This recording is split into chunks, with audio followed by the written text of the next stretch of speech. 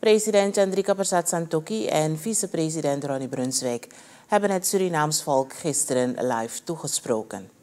Het staatshoofd heeft zijn bezorgdheid uitgesproken over de huidige situatie die is ontstaan op het Surinaams grondgebied. Er is een gepast beleid uitgestippeld om het veiligheidsgevoel te doen terugkeren, zegt de president. Als samenleving ook beseffen dat dit niet hetgene is wat we willen als volk van Suriname. Dat allemaal uit de hand gelopen is, allemaal misgegaan is. En dat heeft ook ernstige gevolgen. In de zin van dat we veel veiligheidsmaatregelen moeten treffen om het veiligheidsgevoel in het land terug te brengen. Om veiligheid te brengen naar alle instituten zoals winkelzaken, bedrijfsleven, maar ook naar de wegen toe, naar de burger toe.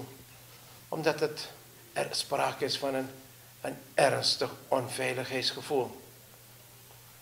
Natuurlijk is de procureur-generaal met haar team bezig om die ernstige strafbare feiten die gepleegd zijn, die uh, op te sporen. De verdachten die hiervoor verantwoordelijk zijn, ook aan te houden.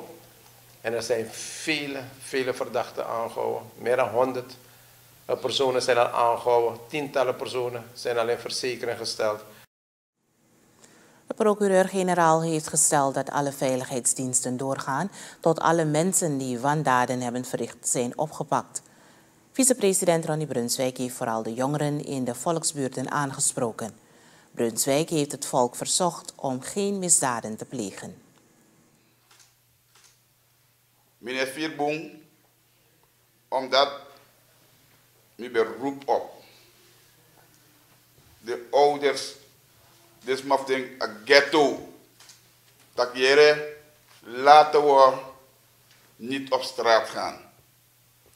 Maar ja, zie alles aan om in vernieling o men san sa wan misir befrede dat wan sa wan wan moro erg sam be kam sa ma me giden skutu grantangi a fas fa teri op na ne su dati dati smano kis mankeri moro voor lek sambe kam sa lek sanes marigeri.